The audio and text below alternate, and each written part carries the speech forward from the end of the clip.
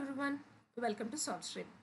In this video, let us learn how to solve simultaneous equations using substitution method.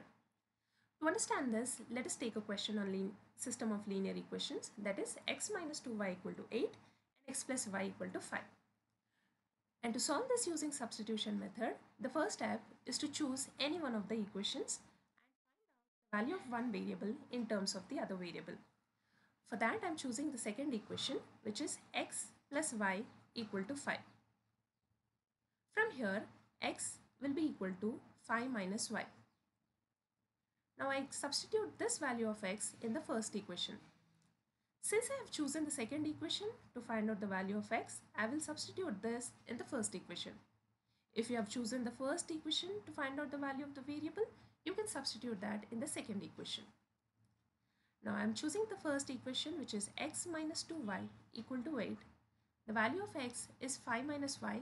I am putting it here which is 5 minus y minus 2y equal to 8 which gives us 5 minus 3y equal to 8. Now solving this further we get negative 3y equal to 8 minus 5. Negative 3y is equal to 3 and y equal to 3 over negative 3 which is equal to negative 1.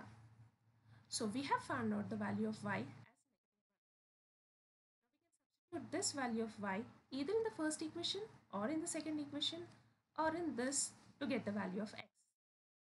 I'm putting it in the first equation which is x plus y equal to 5. x plus y equal to 5.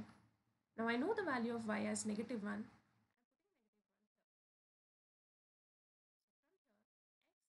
to 5 plus 1 which is equal to 6.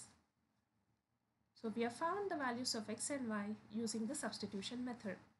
To check whether your answer is correct or not, you can put the values of x and y in any one of the equations and your equation will be satisfied.